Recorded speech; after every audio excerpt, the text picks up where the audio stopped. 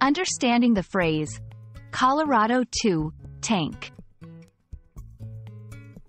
Hello, everyone. Welcome back to our English language learning channel. Today, we are going to talk about a specific phrase that you might come across in various contexts.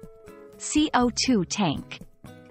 We will break down what it means, where you might hear or see it, and how to use it in a sentence. So, let's dive right in.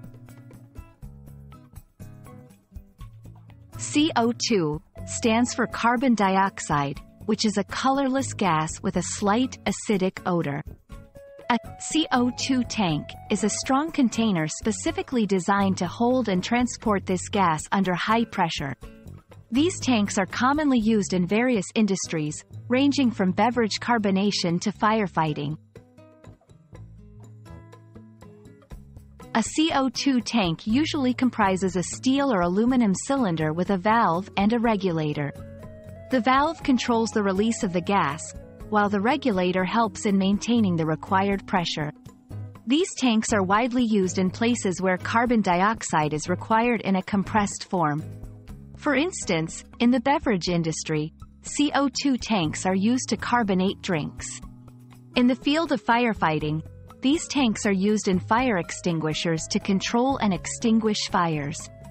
They are also used in aquariums to provide a sufficient amount of carbon dioxide to aquatic plants. It is crucial to handle CO2 tanks carefully as they contain gas under high pressure. They should be stored in a cool, dry place and away from direct sunlight. It's important to regularly check the tanks for any signs of damage or leakage, and to follow all safety guidelines provided by the manufacturer. And that wraps up our discussion on CO2 tanks. We hope this video has been informative and has helped you understand what a CO2 tank is, its uses, and the necessary safety precautions to take when handling them. Thank you for watching, and remember to stay curious and keep learning. See you in the next video.